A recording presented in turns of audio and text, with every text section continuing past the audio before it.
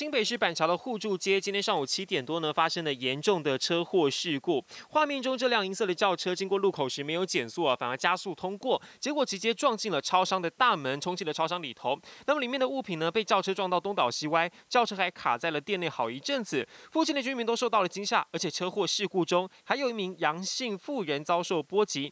他当时呢走在骑楼，只是恰巧经过了超商门口，就被肇事的车辆给迎面撞上了。来听一下目击者的最新说。说法，两个年轻人在那边，他跳开了，一个一个阿姨啊，刚好在门口正正面被他撞下去啊。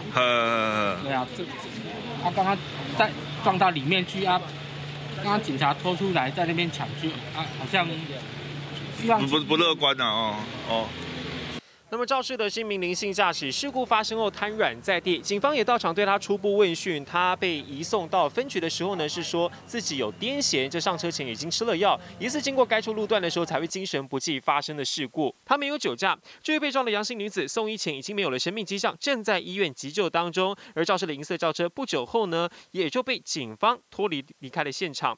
那么警方也提醒了，精神不佳、恍神上路，危险的严重程度呢，不比酒驾还轻，真的不要勉强上路害人害己。